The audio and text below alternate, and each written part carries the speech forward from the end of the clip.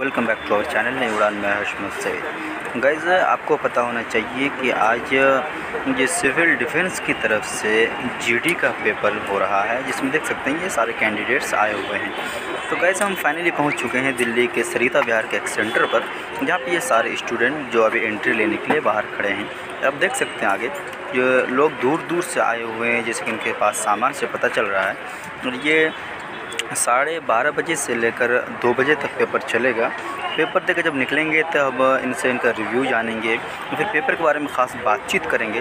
तब तक आप देखते रहिए कैसे जाँच हो रही है क्या क्या चीज़ें आप अंदर लेकर जा सकते हैं, और कितने सारे लोग आए हुए हैं। बताया जा रहा है कि इस कोर्स के लिए या फिर इस एग्ज़ाम के लिए लगभग उनतीस लाख फॉर्म्स आए थे। निकला था ना उसको? ऑटो ऑटो फ़ोटो हम गेट के अंदर का नहीं कर सकते। हेलो गाइज़ अभी आप लोग देख सकते हैं कि S S C after twelve जो जीडी का पेपर हो रहा है आसाम आसाम राइफल्स मैन के लिए जो स्टाफ सिलेक्शन कमीशन द्वारा पेपर करवाया जाता है।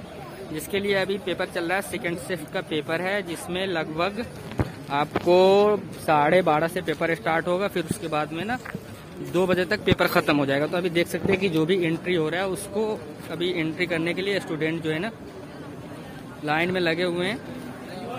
आप लोग देख सकते हैं कि सिक्योरिटी जो है, वहाँ पे स्कैन करके एंट्री दे रहे हैं और उसके बाद जो अंदर आपका जो भी डॉक्यूमेंटेशन है, उसका आपको देना पड़ता है। डॉक्यूमेंटेशन होता है वहाँ पे अंदर देख सकते हैं कि लाइन में लगे हुए हैं लोग। ये देख, ये देखो अंदर जाके आप अपना आईडी वगैरह चेक करा सकते हो। वहाँ भी अंदर जाके आपको लाइन लगना पड़ता है। यहाँ पे गेट पे आपको सिर्फ़ स्कैनिंग करके फिर उसके बाद आपको अंदर एंट्री मिलती है और फिर वहाँ पे जाके आपका चेक होता है। ये आप देख सकते हैं एसएससी का लगा हुआ है स्टाफ सिलेक्शन कमेटी जो अभी जीडी का पेपर करा रहा है। तो इसके लिए अभी साढ़े बारह से पेपर स्टार्ट होगा फिर उसके बाद दो बजे तक पेपर खत्म हो जाएगा। तो जो भी हो रहा है प्रोसेस आप देख सकते हैं। अभी हम लोग अभी यहाँ पे वेट करेंगे और जो बच्चे पेपर दे आएँगे फिर हम उनसे उनका रिव्यू जानेंगे, कैसा पेपर था, किस लिए पेपर था क्या क्या चीज़ें होती इसमें। तो आप लोग हमारे साथ बने रहें।